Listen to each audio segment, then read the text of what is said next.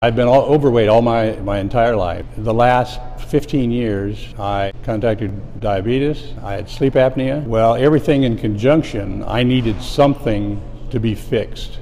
I had my surgery uh, October the 5th of last year. I have no diabetes. I do not use inhalers. I do not have uh, gastric re- reflux. I've also told people that, you know, hey, I've lived one way for 70 years. I'm going to try the next 20 in a different direction.